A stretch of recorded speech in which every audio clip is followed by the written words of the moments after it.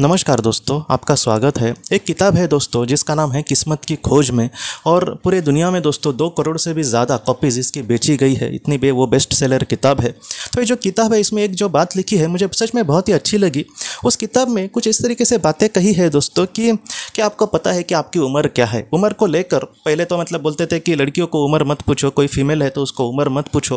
लेकिन आजकल मुझे लगता है कि कोई लड़के होंगे, उसको भी उम्र मत पूछो, ऐसे लगता है, क्योंकि उम्र के बारे में फटक से इंसान बोलते समय एकदम तुरंत एकदम बाकी की चीज़ों का तो हम जवाब दे देंगे, कहाँ पर रहते हो, कहाँ से हो। लेकिन उम्र का जब हमें पूछा जाता है, तब एकदम हम थोड़े से मतलब नर्वस हो जाते हैं या फिर अच्छे से कभी कुछ लोग जवाब नहीं देते। तो इस तरीके से चीज़ें होती है। लेकिन मैं आपको जो बोल रहा हूँ दोस्तों, वो जो बात है जी उम्र की तो ये हमारे जब कब हम जीव मतलब ज़िंदा हुए, कब हमें मतलब जन्म मिला, इस तरीके से चीज़ें नहीं हैं। हमें मतलब ये दिखना है दोस्तों कि हमारी आत्मा की आखिर उम्र कितनी है।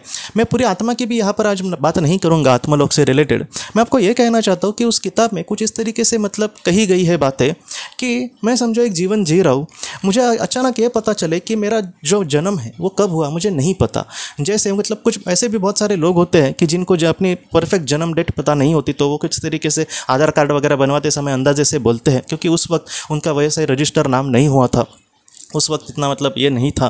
तो ऐसे भी लोगों की मैं बात नहीं कर रहा, मैं ये कह रहा हूँ कि क्या हम अनुभव के बल पर मतलब कोई एक इंसान है, उसने अब तक कितनी ज़िंदगी जी, वो महत्वपूर्ण नहीं है, लेकिन उसने किस चीज़ों का सामना किया क्या क्या सिचुएशन उसके जीवन में आई। इसके मुताबिक अगर हमें ये कहा जाए कि तुम्हारी उम्र कितनी है, ये कहो तो आप क्या कहेंगे दोस्तों? मुझे पता है कि बहुत सारे लोग जो ये वीडियो देख रहे हैं, जब मेरे भी मन में मतलब ये जब मैंने पहली बार बात सुनी, तब मतलब मुझे यही लगा कि नहीं, मेरी तो उम्र उस तरीके से तो बहुत ज़्यादा है, कम से कम सत्तर अस्सी साल है, क्योंकि मैंने बहुत सारी सिचुएशन का सामना किया है। वगैरह हर एक इंसान को वही लगता है कि उसने बहुत कुछ सहा है, लेकिन बहुत सारे लोग बहुत कुछ दिल से सहते हैं मतलब लेकिन फिर भी वो बोल के नहीं दिखाते। लेकिन कुछ लोग कुछ भी नहीं सहते। एक पंद्रह सोलह साल हुए, फिर भी वो बोलेंगे कि मैंने ये देखा है, मैंने वो देखा है। तो ऐसे भी लोग बोल सकते हैं कि मुझे लगता है कि मेरी तो आत्मा की उम्र बहुत ज़्यादा है, या फिर मेरी उम्र बहुत ज़्यादा है। लेकिन इस तरीके से चीज़ें कभी कभी नहीं होती। मैंने खुद ने जो सीखा है वो कहता हूँ दोस्तों कभी कभी कुछ मतलब मुझसे बहुत ज़्यादा बड़े भी लोग, लेकिन कुछ ऐसी वो चीज़ें कर देंगे तो हमें लगता है कि इस इंसान की शायद उम्र मुझसे कम हो सकती है। हाँ एज में वो मुझसे बड़ा हो सकता है उम्र में, लेकिन फिर भी अनुभव की उम्र हो सकती है कि मैं इससे थोड़ा बड़ा हूँ, क्योंकि मुझे ये सारी सिचुएशन पता है। लेकिन मैं जब मुझे पता है, मुझे पता है, जब बोलता हूँ, तब मुझ, मेरे से आधे उम्र से भी छोटा बच्चा कुछ कहीं ना कहीं कुछ इतना मतलब मैच्योरिटी से कुछ करेगा, तब ये लगता है कि अरे, मैं तो अपने आप को बड़ा समझ रहा था, लेकिन मैं तो इससे भी छोटा हूँ, क्योंकि इसने जिस तरीके से हैंडल किया इन सारी सिचुएशन को, मैं तो मतलब उस तरीके से नहीं हैंडल कर सकता। तो इस तरीके से भी बहुत सारी चीज़ें होती है दोस्तों तो मुझे ऐसे लगता है कि सारी ही चीज़ों में हम सब मतलब परफेक्ट ही होते हैं, ऐसे नहीं है। कुछ चीज़ों में हम अच्छे होते हैं तो कुछ चीज़ों में इतना मतलब थोड़े से हम कमज़ोर पड़ सकते हैं। तो ये सारी चीज़ें जो है दोस्तों, ज़्यादातर लोगों के साथ होती ही है।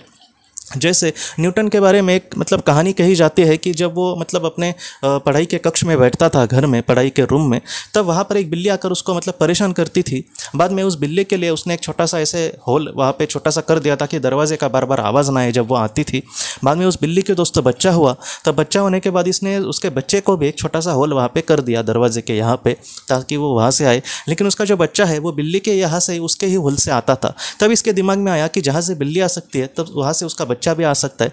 मतलब क्या है दोस्तों, न्यूटन देखा जाए तो इतना जिसने गुरुत्वाकर्षण का नियम मतलब दुनिया के सामने रखा, वो इतना इंसान मतलब एक छोटी सी चीज़ में वो कहीं ना कहीं अपने आप को अच्छे से वो सोच नहीं पाया। तो कुछ चीज़ों में हम कमज़ोर होते हैं, ऐसे ही मुझे लगता है। मैं एकदम डायरेक्टली नहीं कहता कि कोई कुछ लोगों की उम्र एकदम कम ही होती है। भले उन्होंने नब्बे साल की भी ज़िंदगी जी होगी, लेकिन उसमें क्या सीखा वगैरह। लेकिन हो सकता है कि कुछ सिचुएशन में वो हमसे भी इतने मज़बूत हो कि बड़े बड़े दुख का वो बहुत ही अच्छे से सामना कर सके।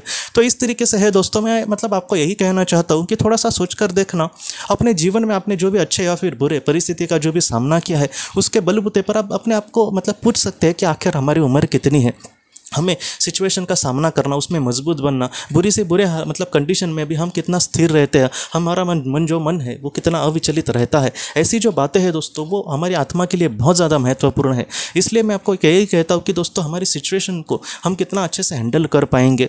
इस किताब में और भी एक बात कही है कि इंसान को सिखाने के लिए बहुत बार जो टीचर होता है दोस्तों, वो दुख ही है। जो दुख है, वही इंसान को बहुत बार अच्छे से सिखा सकता है। इस बात को हम माने या फिर ना माने, लेकिन दोस्तों, ऐसी जो बातें हैं, वो आत्मा के लिए बहुत बार ज़रूरी होती है। मैं भी मतलब बहुत बार यही सोचता था और अभी भी सोचता हूँ कि इंसान के मतलब जीवन में दुख ही क्यों आता है? अगर कोई एक अच्छा इंसान होगा तो वो सुख से भी बहुत कुछ सीख सकता है। लेकिन बहुत बार दोस्तों जो दुख है जो धोखा है या फिर जो बुरी सिचुएशन है, जो मतलब एक लाचारी है, जो मजबूरी है, ऐसी जो चीज़ें हैं, इंसान को कितना मज़बूत बनाती है, उतना सुख बहुत बार नहीं बना सकता। ये सच है दोस्तों। तो इस तरीके से दोस्तों, हमें अपने जीवन में जो भी समस्या आती है, उसका अच्छे से हल ढूंढना, उसमें जीवन में आगे बढ़ने की कोशिश करना कभी कभी कुछ बुरी सिचुएशन से भी बहुत कुछ अच्छा निकल सकता है, उस तरीके से कोशिश करना, ऐसी जो बातें हम सबके आत्मा के लिए बहुत ज़्यादा महत्वपूर्ण है दोस्तों। तो उस तरीके से हमें अपने जीवन में आगे बढ़ना होगा। तो दोस्तों, हम अपने अगले वीडियो में मिलते हैं। आप अपना, अपने परिवार का ख्याल रखना। आपका बहुत बहुत धन्यवाद।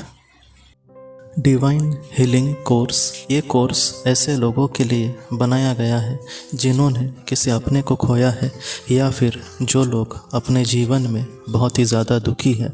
इस कोर्स में हमारे मार्गदर्शक आत्मा को प्रार्थना करना, उनसे जवाब ढूँढने की कोशिश करना, उसके साथ साथ ध्यान की उचित विधि को समझना, हमारी आध्यात्मिक प्रगति के लिए और जो महत्वपूर्ण बातें हैं, वो इस कोर्स में आपको सिखाई जाएँगी। अगर आप इस कोर्स के बारे में जानकारी लेना चाहते हैं तो कृपया इस नंबर पे व्हाट्सएप मैसेज करें।